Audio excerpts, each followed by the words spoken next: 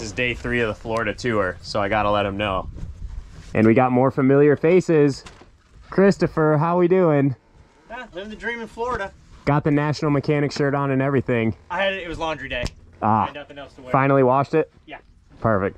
Ladies and gentlemen, we got invited to come ride Tyla Rattray's house. Once in a lifetime opportunity. Um, and so we couldn't say no. Even though we haven't ridden more than five times since the Pala Pro National, we decided why not go and ride one of the gnarliest tracks in Florida. Sounded like a great idea at the time. In hindsight, maybe not the best idea, but it's definitely making us a better rider and uh, it's an eye-opener that we have a lot of work to do before the outdoor nationals come around um, so definitely a good thing we're out here we're doing like 15 minutes on the absolute struggle bus so but we're having a good time nick right Uh, yeah, we're having a good time. there you have it all right christopher got the dream team back together. Let's go bust this out. Show the people what tyla rattray's facility is like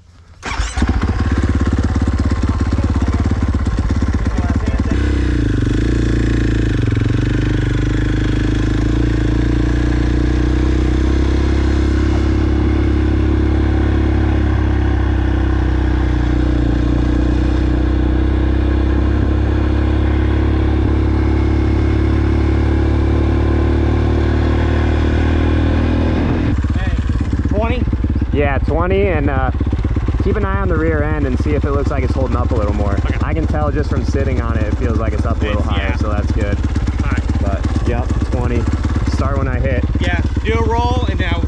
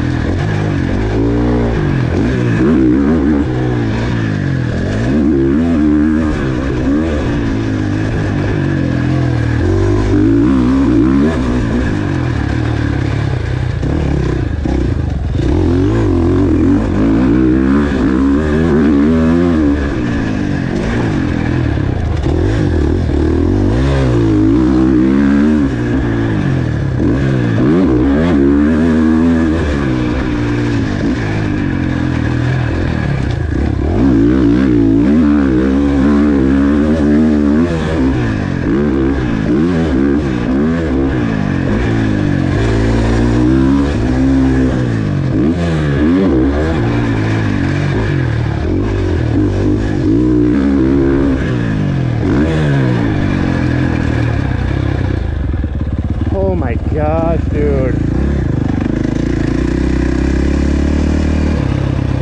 Simply not ready for this level of gnarly yet. But man, is it fun.